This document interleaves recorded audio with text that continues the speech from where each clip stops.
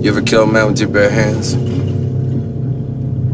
Well, my daddy did. My daddy used to sing me a song, and it was I'm born to preach the gospel.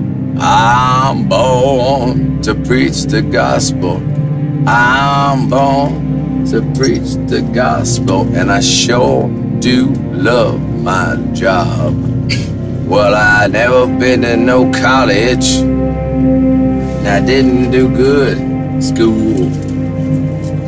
When Jesus Christ picked me to be a preacher, he sure didn't pick no fool.